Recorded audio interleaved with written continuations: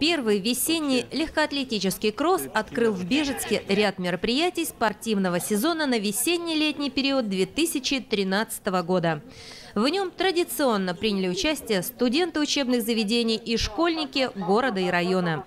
В Бежецке спортивная молодежь. Многие ребята являются победителями различных спортивных соревнований как в районе, так и в области.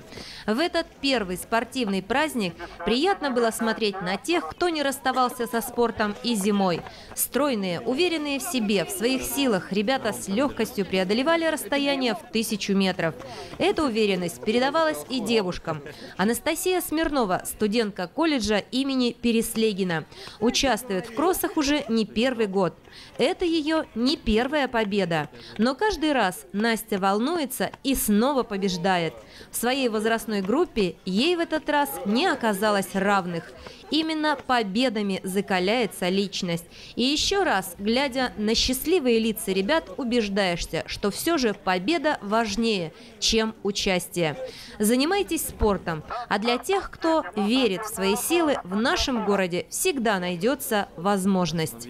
На ближайшее время, 7 мая, это у нас шиповка юных. Участвует в основном 5-6 класс до 7 Затем эстафета 9 мая по улицам города в честь Дня Победы. Ну и дай бог, чтобы подсох стадион э, Бежевского промышленно-экономического колледжа, на котором 14-15 мы планируем провести первенство города по легкой атлетике.